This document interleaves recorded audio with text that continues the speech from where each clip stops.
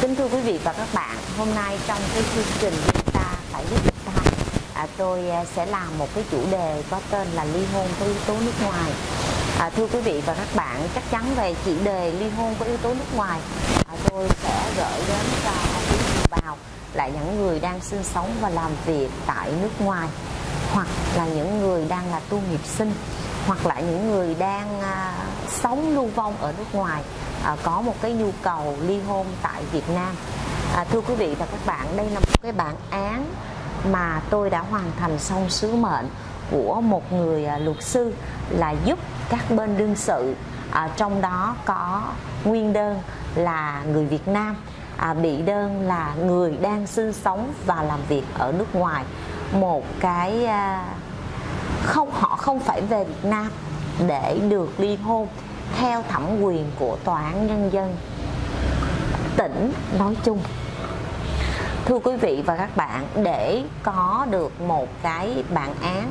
à, ly hôn có yếu tố nước ngoài thì trước tiên chúng ta phải cung cấp được cái địa chỉ của à, cái người ở nước ngoài. Một cái địa chỉ cụ thể và cái người ở nước ngoài này phải có những cái thiện chí cùng với lại cái người ở trong nước,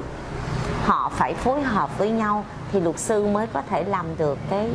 việc ly hôn có yếu tố nước ngoài được. Chứ nếu như trong trường hợp mà người nước ngoài à, không có phản hồi, trong khi người Việt Nam lại muốn, mà trong khi người Việt Nam muốn ly hôn mà người nước ngoài lại không phản hồi ý chí, thì như vậy cái việc ly hôn nó sẽ không thể diễn ra thuận lợi cái câu chuyện của tôi là cái chị này đang sinh sống và làm việc ở Hàn Quốc. Còn à, người à, đương sự ở Việt Nam này à, anh chị à, đã đi vào những năm trước năm 2000 thì trong quá trình đi thì hai con họ đã thành niên. Và bây giờ giữa họ không có những cái sợi dây ràng buộc giữa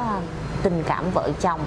À, người ta bảo rằng là nhất cự ly nhì cấp độ. Cho nên um, đó chính là một trong những nguyên nhân. À, tôi mới à, trong cái quá trình mà làm đơn cho anh ở phía Việt Nam để nộp đơn khởi kiện chị đang sinh sống và làm việc ở Hàn Quốc thì à, tôi à, có nói là um, tôi muốn anh kể cho tôi nghe để biết lên một cái đơn về à, cái sự phai nhạt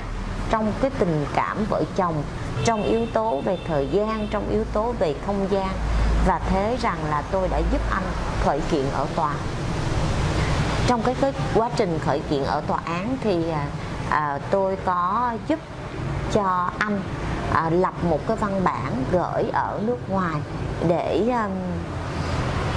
chị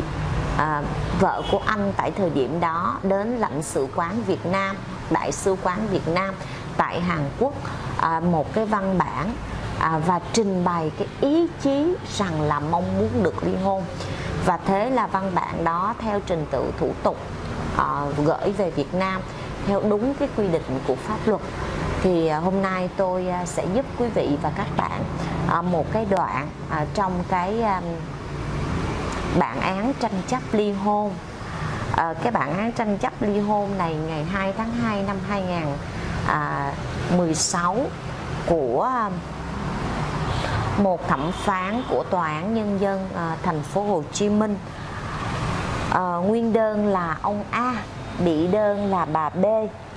Thì à, theo đơn khởi kiện ly hôn thì nguyên đơn ông A trình bày ông A có tổ chức đám và bà B có tổ chức đám cưới có hai con chung đã thành niên à, đến năm 1995 à, do bổ sung hồ sơ nhập cọc cho con thì họ đã tự nguyện đăng ký kết hôn à, theo cái giấy chứng nhận kết hôn số mấy ngày mấy đó. Và đến năm 20 2000 thì để phát triển kinh tế gia đình thì à, ông A và bà B đã bàn bạc cùng nhau đi hợp tác lao động Hàn Quốc. À, với một cái mong ước là chỉ đi vài năm để trở về Việt Nam. À, tuy nhiên là thời gian đầu bà còn có những cái à, điện thoại gửi về nhưng sau đó thì những cái vui buồn trong cuộc sống thưa dần. À, thời gian thì xa cách về khoảng cách về địa lý và tình cảm vợ chồng. Thì nay thì tình yêu không còn nữa hai con đều cả trưởng thành thì không có vấn đề gì níu kéo. À, thưa quý vị và các bạn không thể thể thế nào mà đọc hết toàn bộ một cái cái nội dung cái à, à, bản án cho quý vị và các bạn. Tuy nhiên rằng à,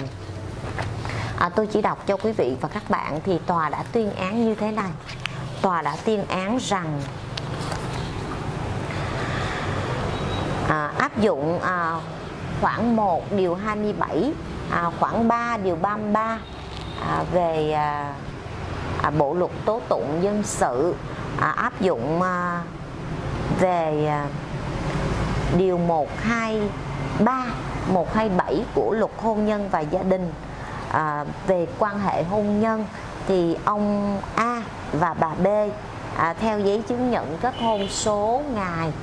à, không còn giá trị. À quý vị thấy không? Về con chung thì hai trẻ là A và B đã trưởng thành. Về tài sản chung thì à, giữa à, hai người này không có yêu cầu tòa giải quyết. À, thưa quý vị và các bạn thế là tôi đã hoàn thành xong sứ mệnh của một cái à, vấn đề nộp đơn khởi kiện tại tòa án